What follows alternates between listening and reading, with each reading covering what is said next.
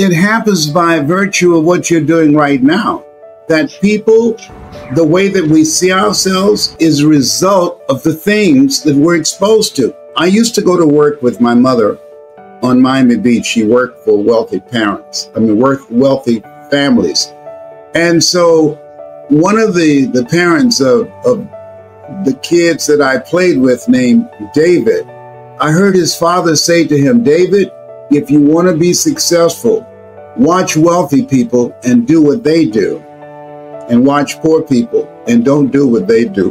mm-hmm. I took note of that. And so by listening to those messages on a regular basis, you can't tell me people listening to you on a regular basis that their lives are not changing. I know that that it will happen because it happened to me. By listening to those messages, it disrupted my current thinking and got me out of my history and it forced me to live out of my imagination. There's a scripture that says, I'll give you all your eyes can see.